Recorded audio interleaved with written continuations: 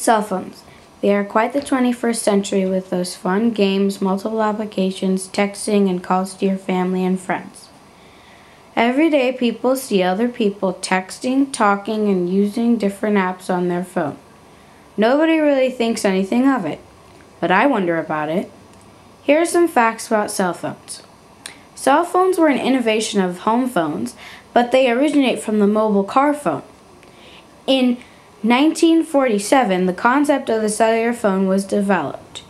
In 1973, Martin Cooper, who was the main inventor of the cell phone in Motorola, introduced a 16 ounce phone called Dynatac, which would cost a person $3,500. In 1977, cell phones went public, but they weren't very popular. They were big, the range was limited, and the number of people who could use them in one area or cell was too small.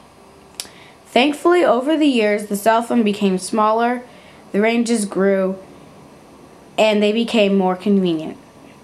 Cell phones are a good invention because they allow people to talk with each other and communicate from anywhere where there's a signal. They are bad because they distract people from their life and what they are doing. For example, you're a pedestrian just walking down the street, texting away on your phone. A bicyclist rings her bell and to ask you to move out of the way.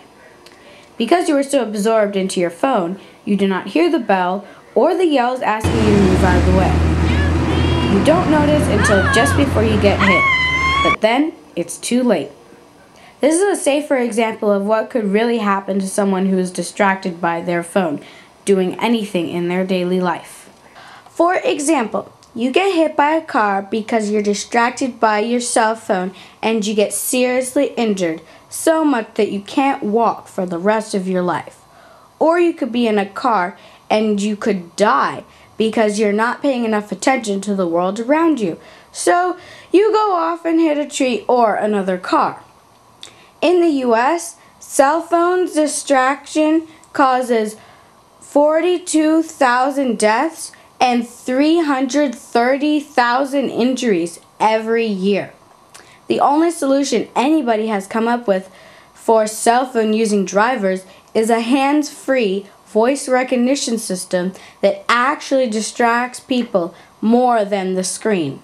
If I was a really good inventor, I would invent something that turns off people's cell phones while they're in cars because I think that people shouldn't be distracted at all by their cell phones while they're driving. It could be fatal.